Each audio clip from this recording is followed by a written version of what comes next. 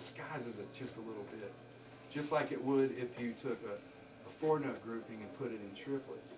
You know, it, it keeps it from being, you know, Predictable. predictable. And, and it's still predictable after a while because your ear gets used to it and it's predictable, so you need to find something else. But you know, you know. But like, um, I mean, that doesn't really sound like triads. You wouldn't necessarily associate with that unless you were used to that sound. But uh, we talked about it before too. Those two triads, if you put them together, if you took A and you did an arpeggio right here at the fifth fret, you know, right there out of that chord.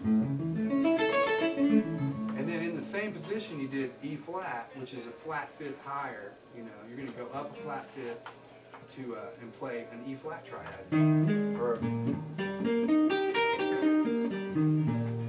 so that with right in the same position you have and sorry. And if you put those together and look at them on one piece of paper in the same diagram, you know, you'll see this little shape here.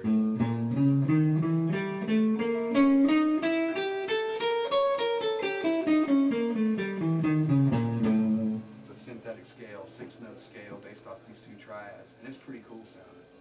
You know, you get some cool ideas.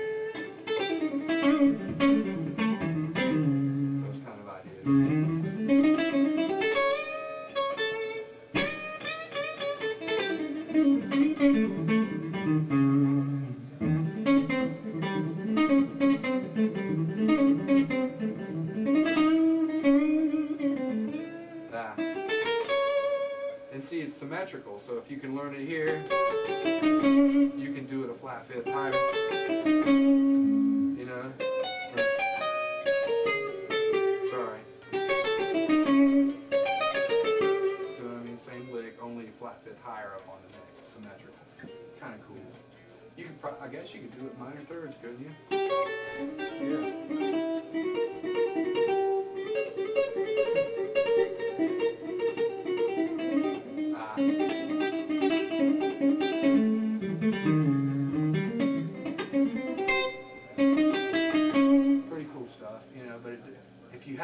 You have a bass line, like again, that is based off that scale, you know, let's, let's write one real quick. So let's just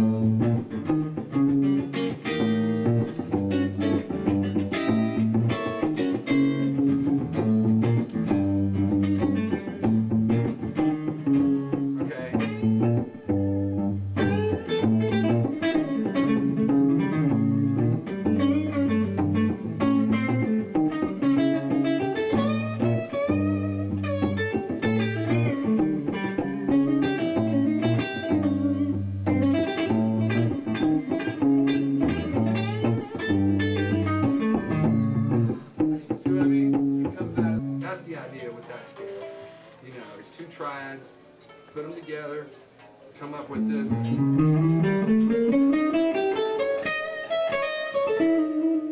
It's pretty dark sounding, so if you're into dark stuff, you can, you can get some knowledge out of that. Write a bass line based off the scale tones. It could be pretty cool, pretty spooky. I like it. Okay, but it's really just diminished scale, so it's diminished scale with certain notes missing. So let's do that one more time.